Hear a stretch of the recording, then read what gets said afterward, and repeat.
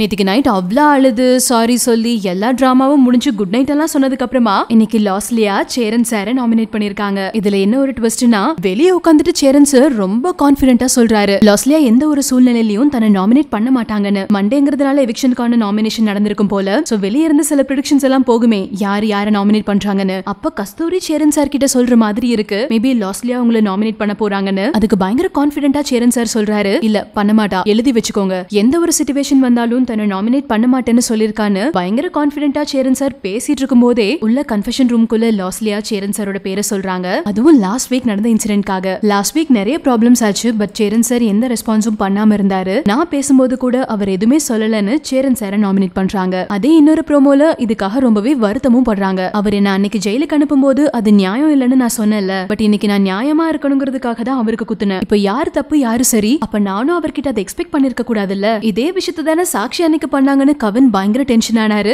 நான் சாரி கேட்டப்போ என்ன மன்னிச்சிட்டேன் காம்ப்ரமைஸ்னு எல்லாத்தையும் சொல்லிட்டு மறுபடியும் அதே காரணத்துக்காக கவினை நாமினேட் பண்ணங்காட்டி தான் கவின் ஃபுல் டென்ஷன் ஆனாரு. சாக்ஷி இதை வச்சு செம்மையா கேம் விளையாண்டதா கவின் சொன்னார்ல இப்ப லாஸ்லியாவும் அதே மாதிரி ஒரு சுச்சுவேஷன்ல இருக்காங்கல்ல. நேத்திக்கு நைட் சேரன் சாரோட தோல்ல சாஞ்சு அழுது சாரி குட் நைட் எல்லாம் நடந்துட்டு அவங்க பேசி முடிச்ச அதே காரணத்தை வச்சுதான் இன்னைக்கு லாஸ்லியா குத்தி இருக்காங்க மேபி அது தெரிஞ்சுதானோ என்னமோ அவங்களே அழுக ஆரம்பிச்சிட்டாங்க. சரி தர்ஷன் காம்ப்ரமைஸ் பண்றாரு பட் கவின் ஏன் சைலண்டா இருக்காருன்னு யோசிச்சிங்களா? இதுக்கு அப்பாவும் பொண்ணும் பேசி கன்வின்ஸ் ஆனதுக்கு அப்புறமா அதை கவின் கிட்ட எக்ஸ்பிளைன் பண்ணும்போது உனக்கு ஓகேனா எனக்கு ஓகேன்னு சொன்னாரு. அதே நைட் பேசும்போது சில டிராமாஸ் எல்லாம் என்னால பார்க்க முடியாதுன்னு சொன்னல உன்கிட்ட ஒரு சில டிராமா பண்ணும்போது அப்ப நான் உன்கிட்ட தானே கோவிக்க முடியும் அப்படின்னு சொல்றாரு. சோ இன்னைக்கு வேற யாரெல்லாம் சேரன் சாரை நாமினேட் பண்றாங்க? யாரெல்லாம் எவிக்ஷன் நாமினேஷன்ல வர போறாங்கிறதையும் வெயிட் பண்ணி தான் பார்க்கணும். இருக்கிற சூழ்நிலையை பார்த்தா மேபி கஸ்தூரி சேரன் சார் வர நிறைய வாய்ப்பு இருக்கு. சரி லாஸ்லியாவோட இந்த நாமினேஷன் பத்தி நீங்க என்ன ஃபீல் பண்றீங்க? மறக்காம கீழே கமெண்ட்ல வித்யா என் கூட ஷேர் பண்ணுங்க.